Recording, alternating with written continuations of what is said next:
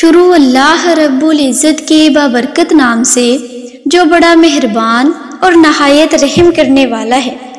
دو ہزار سال قبل از مسیح کی بات ہے کہ جب طوفان نوح کی تباہی کے بعد اللہ رب العزت نے سرزمین عرب پر ایک ایسی قوم پیدا فرمائی جو دنیا میں سب سے طاقتور، مضبوط اور توانا افراد پر مشتمل تھی۔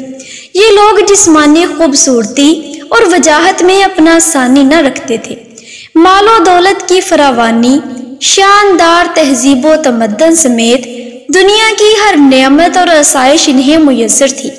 قرآن کریم میں اس قوم کا ذکر کرتے ہوئے اللہ رب العزت نے ارشاد فرمایا کہ ان جیسی کوئی اور قوم اور ملکوں میں پیدا نہ کی۔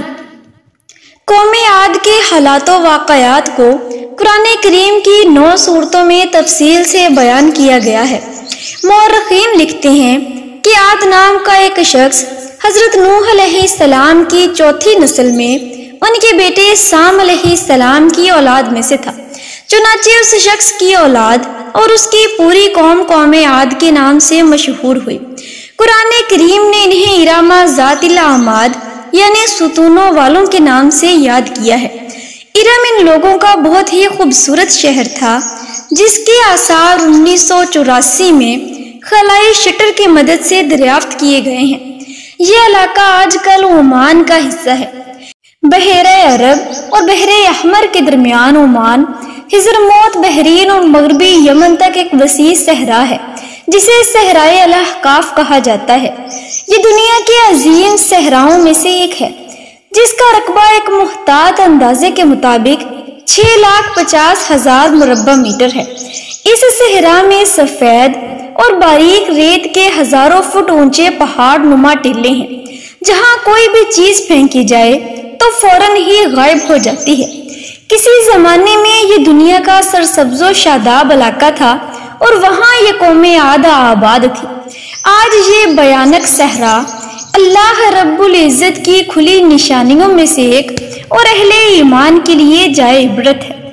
قوم عاد اپنی تعمیرات میں ستونوں کو خصوصی اہمیت دیتی تھی اور دنیا میں ستونوں پر بڑی بڑی عمارات کھڑی کرنے کا طریقہ سب سے پہلے قوم عاد ہی نے شروع کیا۔ کہا جاتا ہے کہ یہ شہر شداد نے خصوصی اہتمام کے ساتھ بسایا تھا۔ جو اس قوم کا بہت بڑا بادشاہ تھا۔ اس طرح اس قوم نے جس معیار اور جس انداز کی تعمیرات کی، ایسی تعمیرات اس سے پہلے دنیا میں کسی اور قوم نے نہ کی۔ شاید اسی لیے یہ جگہ شداد کی جنت ارضی کے نام سے مشہور ہے۔ بعض مفسرین نے فرمایا کہ ارم اس جنت کا نام ہے جو آد کے بیٹے شداد نے بنائی تھی۔